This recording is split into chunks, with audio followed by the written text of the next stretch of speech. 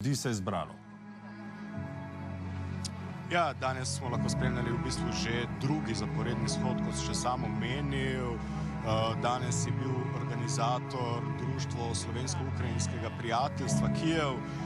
Če se včeraj na trgu Republike zbralo okoli 2000 ljudi, je bilo danes, do nekaj minutami tukaj na kongresnem trgu, praktično premalo prostora za vse, ki so se želeli udeležiti današnjega shoda za Ukrajino.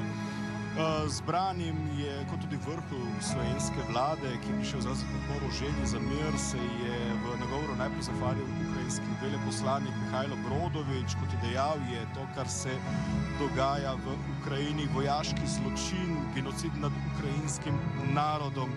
Zdaj smo lahko slišali tudi govore predsednika državnega sveta Alojza Košce, ministra zdravja Počevalška in pred nekaj minutami tudi predsednika vlade Janeza Janšo. Vsi so seveda opozarjali, da je ruska agresija nespremljiva in spomnili na podobno situacijo, ko smo se morali tudi mi braniti pred agresorjem. Pri tem je Janša opozoril tudi na nevarnost širitve vojaških spopadov na preostanek Evrope.